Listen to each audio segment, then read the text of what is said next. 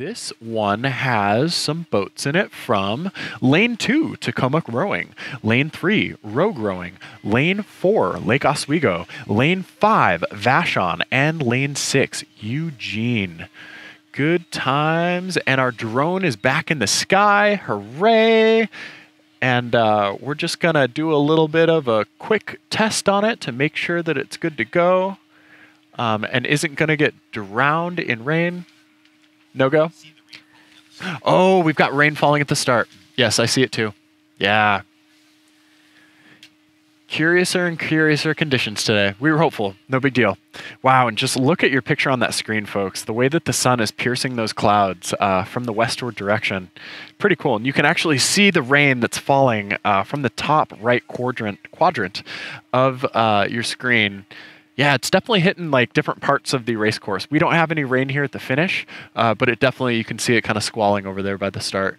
So. Yeah, and just looking at uh, at this down the course here, I'm going to give lanes three and four here. Uh, Rogue Rowing and Lake Oswego the lead at this time. Again, it's very tough to say from about a thousand meters away, but um, if I pull up my little eagle eyes here, it's looking like Rogue and Lake Oswego in lanes three and four. So we will keep an eye on this as they make their way down the course again, two different weather systems going on here one at the starting line, one at the finish line. So, um, again, you can even see it if you just look up at these cloud formations too, where the rain is kind of blowing. So, luckily, though, we still have very, very nice water coming into the second half of this race, which will give these novice quads uh, some really nice racing towards the finish line. Yeah, most definitely. Um, I heard someone say earlier that we actually have a stratified microclimate here. Uh, we were talking about some meteorolo- meteorology in the uh, volunteer tent, and um,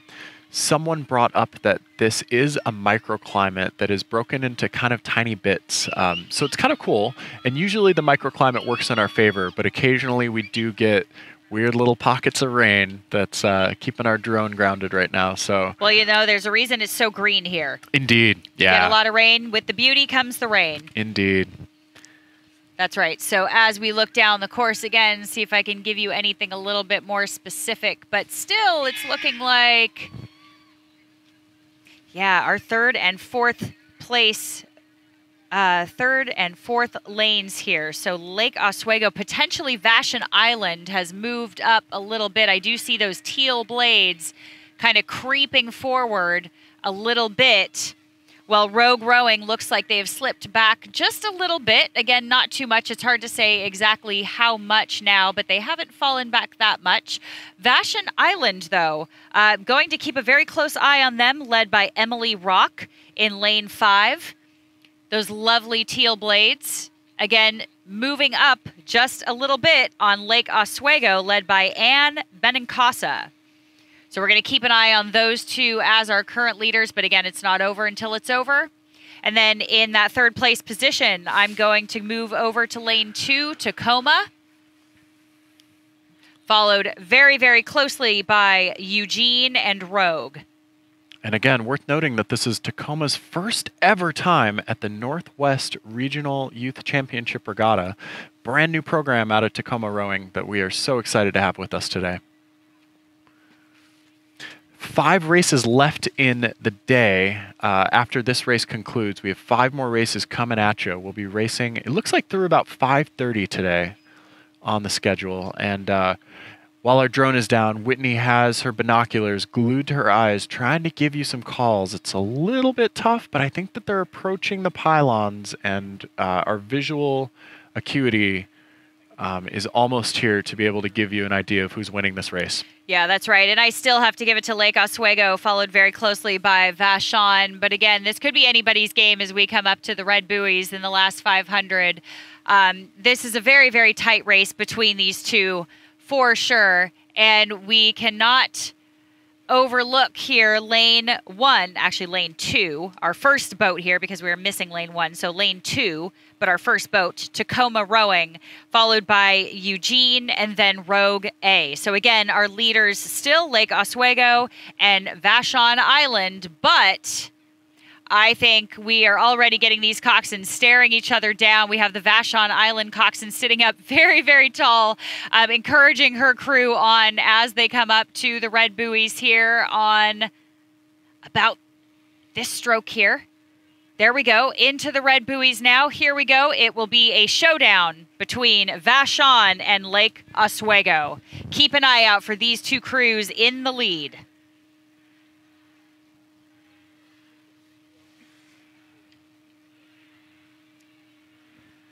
It's really nice too. We talked about steering a little bit um, in some of these quads, where a lot of times in a quad, the the athletes have to steer with a little toe mechanism.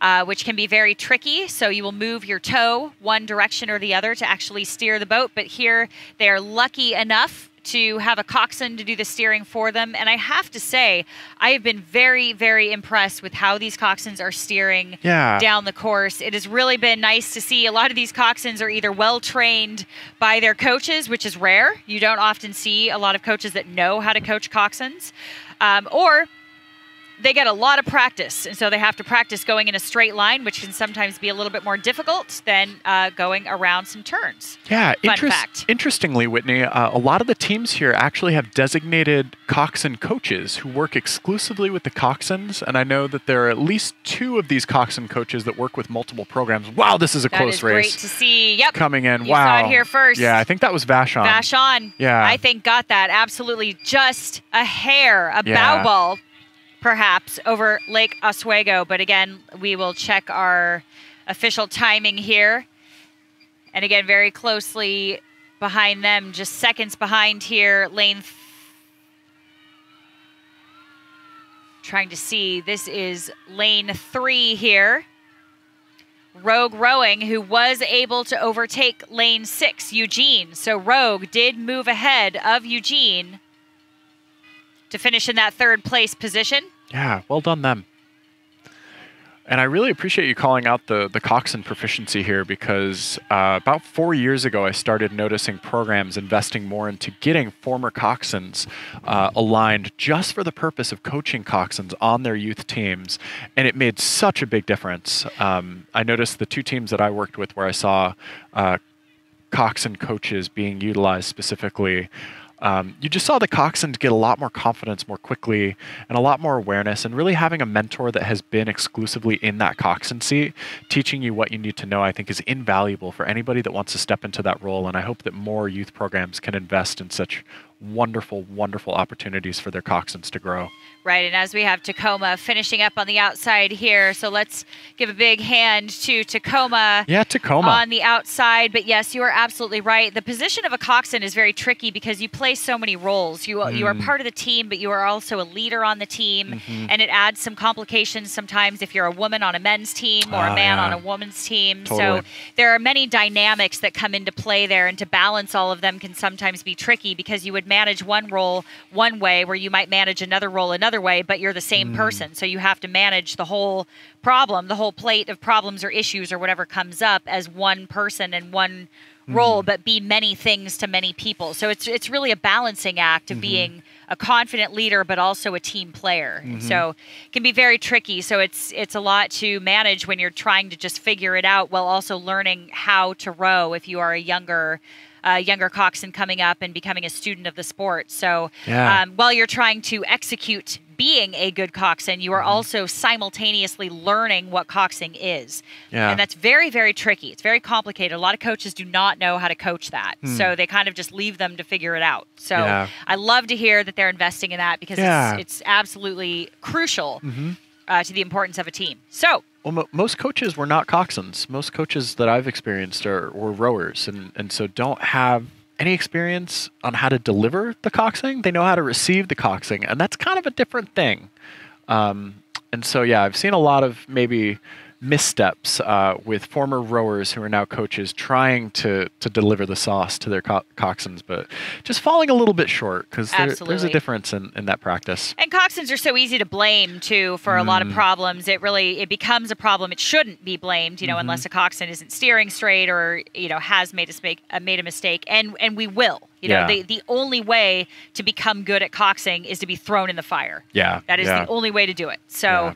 Uh, you have to get in there. You have to make mistakes. You have to say weird things. You have to, you know, not steer perfectly straight for a while and figure it out. And each boat has a little bit of a different personality, so you have to Mm-hmm. Oh, learn yeah. how to steer different boats. You know, Absolutely, yeah. even across eights. You know, across Yeah. eights, each boat has a different response time. Mhm. Uh, you get those uh, those rudders down there that are the size of a credit card, and you're steering a 60 to 63 foot boat, and it takes a little response time. And Mm. Yeah. you know, there's a huge learning curve. Totally. Yeah. So, and there's there's really a lot to a lot to put into practice there. yeah, I feel as though you you could definitely teach a master class on sculling or on, on coxing. I just learned a lot from from what you just shared, and uh, uh, so Whitney and I have actually been corresponding about uh, commentating, and I've learned so much about how to be an effective commentator uh, through that correspondence that I'm just going to go ahead and, and pitch that Whitney should just teach coxing clinics and, and up the, the coxing standard across the world. Well, you heard it here first, so slide into my DMs if you would like uh, any coxswain clinics. I travel and am happy to do that for you. And I have certainly learned a lot about uh, beats and how to keep the mood light and um, how to report the weather. That is for sure. Uh, from a man who lives it daily in this environment. I am from sunny Southern California, so this is not stuff that I get too often. So this is a pleasure for me to be somewhere else. I miss my calling as a beatboxing weatherman. That is that is definitely true. Well, you know, it's never too late, right? Got to live that dream. That's right. That's right. And uh, I think we speaking have the next. of dreams, Yeah, the next race is on the course. Field of Dreams. Yeah. Right. If you build Oh. it, they will come. And Kevin here- Costner is smiling down on us from afar. That's right. And look at the weather has calmed down. It's absolutely perfect out here. Hallelujah. And I think we have our second final of the women's quad now coming down the course. Yeah. Would you like to hear about the boats that are about to appear? I would love to hear I about would, the boats. I would love to tell you about these boats. Let me tell you what. We got an awesome boat in lane two from Seattle Prep. In lane three, we've got a divine looking boat from Olympia Area Rowing. In uh, lane four, Sammamish is rocking the block with their B squad. And in lane five, Eastside Prep A is showing up to show us what's what. And finally, in lane six, Holy Names is showing up to put the other teams to shame. We'll see how they do with that. It's uh, it's getting to be some fun times in the afternoon. We've got I think four more races for you, and we are we're counting it down with chagrin because this is honestly my favorite weekend of the of the year, and I love this community. I love all of our volunteers. I think that the rowing in the Northwest is some of the most beautiful by uh, by way of venues that I've seen, and uh, I just think it's something really special up here. So I'm so glad that we can welcome Whitney to our shores. This is her first time at Vancouver Lake. Uh, hopefully not the last. Um, but it is really exciting as we wrap up our first day of broadcast for the Northwest Regional Youth Championship Regatta today. Yeah, well, thank you for the warm welcome. Certainly not the warm weather, but it is a pleasure to be here. This is one of my favorite parts of the country, so it is an absolute honor to be here. Um, speaking of some of these crews that we see coming down the course here, Holy Names, just want to point out that they have had uh, at Windermere, the Brentwood International, and uh, the Northwest Champs last year have a significant amount of accolades to their name. So I do want to kind of keep an eye on that Holy Names crew again, just across the board. They have shown up again and again and again. So when I see this name pop up, my ears perk up instantly when I hear holy names. So, as we start to move into a few strokes here, looks like we're just shy of the 500 to go. So, in the thick of the third 500, I'm going to see if I can get some better eyes on uh, better visuals here on some placements, but again, a little bit difficult for us to see from this far away without our drone. But we're going to do our best here. So we have what looks like. Yeah, still tough to tell. Yeah, it is very Yeah. tough to tell from this angle here. Not as big of a spread as we've seen in some of the other races. Yeah. So a little bit tough to see, but could potentially be East Side Prep. Is that East Side Prep in the neon? Again, my apologies until they just get a little bit closer. Oh, and now we've got some drone angle on I it. don't want to speculate too too much, but Yeah. here we go. This helps us so much. This is why we never take our drone for granted. Yeah. Our cinematic Thank you, Brian, for putting that back in the air. Absolutely. Yeah. Gives us a much better view of the field. We can be a little bit more accurate for you. Yep. Five o'clock and all is well. And it looks like we've got a pretty intense race unfolding for the medals up here. Um, I think at the top of your screen, we're seeing holy names. Um, Okay, and I think lane two there, Olympia, is uh, is just barely holding a lead. Barely, barely, barely. Yeah, so I think that was East Side in the neon there. So we have Olympia and East Side Okay. as our leaders. Ooh, as we swoop down for this gorgeous side shot here. yeah. Beautiful. Sandwiching Sammamish. Wow, this is a tight race though. They are neck and neck against Sammamish there. Yeah, that really is the second final. Some of these women are going to have a little bit of a chip on their shoulder, maybe. They're Yeah. racing for pride here and really want to throw down and execute a great race. You could not ask for better conditions as we come down the course here, but we have to look on the outside. Look at Holy Names making this charge. Or I'm sorry, East, East side, yeah, Excuse east me, side, just East side. In the neon.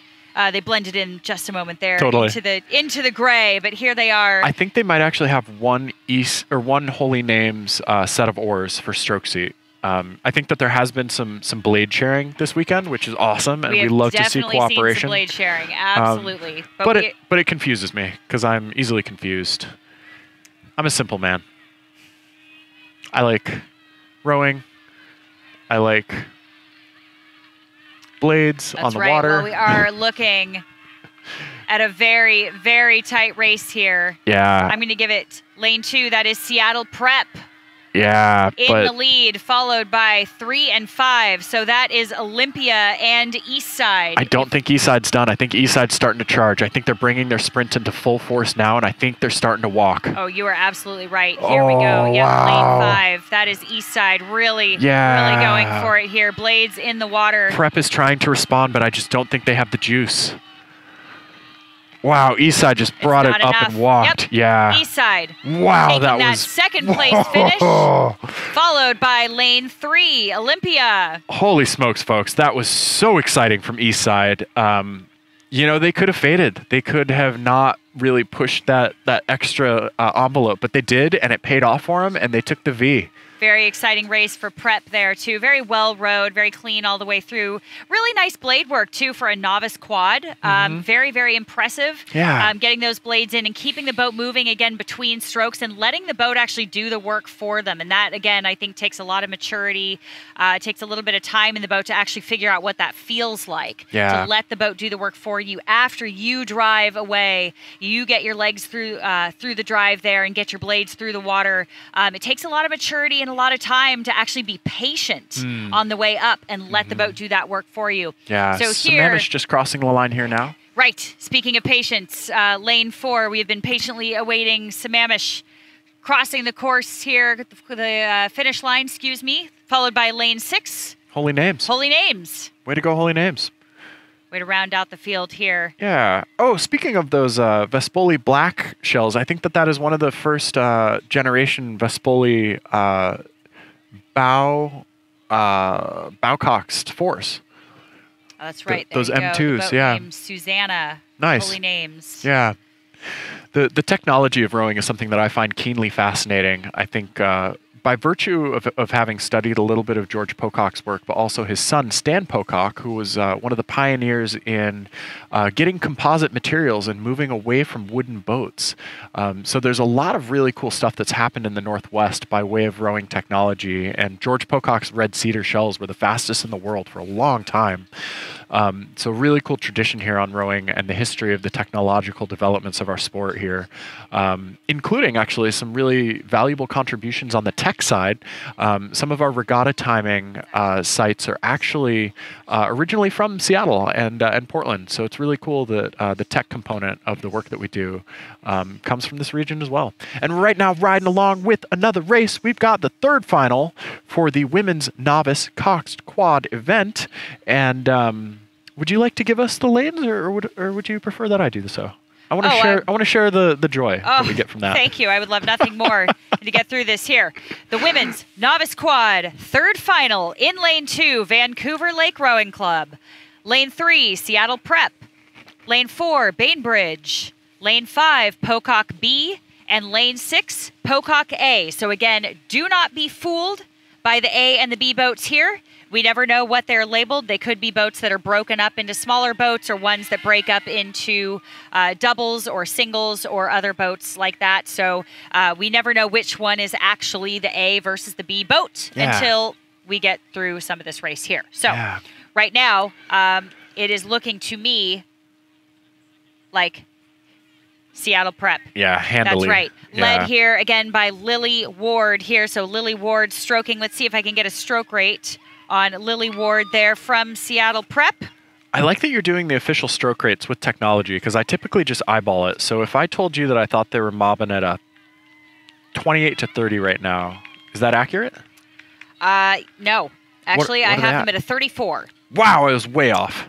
Well, it's okay. It can be deceiving. And you know what? Yeah. That's a great example of Yeah. what we're seeing right here because Yeah. they are making a higher stroke rate look different. They are, and for a novice crew, they're throwing really smooth with their sculling. Exactly. Yeah, Exactly. It takes a very poised crew here Yeah. to actually make a higher stroke rate look like a lower stroke rate, to Yeah. make it look easy, and they have a lot of finesse here. We are looking at a crew with a lot of finesse, and you will see it now on the horizon, nearly a horizon in front of the rest of the field. A phenomenal, formidable performance by Seattle Prep, again led by stroke seat Lily Ward and the coxswain here. So Lily getting uh, firsthand view of the rest of the competition there as they come down the chutes through the red buoys. Yeah, the only thing I would say about this prep crew is that they are missing a little bit of water, particularly bow and two seat. You can see that they reach maximum compression and get squeezed all the way up at the top, but then they're just kind of hanging out. And so maybe kind of retiming the recovery to get up to the catch uh, at the same time as bow and three seat or stroke and three seat. Be the only thing that I would say they could do better. But as a novice crew, just to have that one critique is uh, astounding, and, and Right. they're really impressing me right now. Exactly, exactly. And it's kind of one of those things where once you feel it, you know what it Mm. feels like so you can replicate it. But until you actually know what it feels like to connect with the boat as you're sliding forward to the catch, Yeah. uh, to keep that boat moving, once you once you know what it feels like, you can replicate it. But it takes a little bit of time in a boat to really get that. Definitely. But whatever they're doing now is absolutely working for them because Yeah. the Seattle Prep crew once again Yeah. has crossed the line in first. So very exciting finish there um, in the final. Uh, final final Yeah. of the women's novice quad here. Very exciting. And let's see. I think I see big things on the horizon for Seattle Prep based on the results that we've seen this weekend already. I think that Seattle Prep has a really big income, incoming class of freshmen and sophomores that are poised to do great things in their junior and senior years to come. So, Absolutely here. And yeah. in lane four, Bainbridge Island coming down the course in the Optimus Prime. I love Uh, that. You love to see it. see if it transforms in the end into Autobots, something completely assemble. different. Auto boats assemble, perhaps. Oh, that's a good one. Oh, ho, ho, for the win. That's right. For the silver. And then coming into third here, right after Optimus Prime, we have lane five, Pocock B. Pocock B will be followed by lane two, which is Vancouver Lake Rowing Club, followed by lane six, Pocock A. So again, that's why we never say which boat is actually, uh, you know, going to come in first if we have an A and a B boat because you just never know on the day or how they've been split up. And if you look across here, we have a beautiful rainbow uh, finishing up this beautiful view as we watch the end of this race here. Whoa. That is Really- a thick rainbow, you might say. Really spectacular. That's one of the fattest rainbows I've seen in a while. It is It's girthy, even. indeed. Yeah, yeah. Wow. Some real nice violets off of that. You don't typically see uh, the violet so pronounced, but it's like the violet side of the rainbow, or indigo, I think is what it officially is. Roy G. Biv? No, violet. Uh, yeah. You're right. It's kind of shadowed in the clouds there. And the rainbow shines here, right as lane two, Vancouver Lake Rowing Club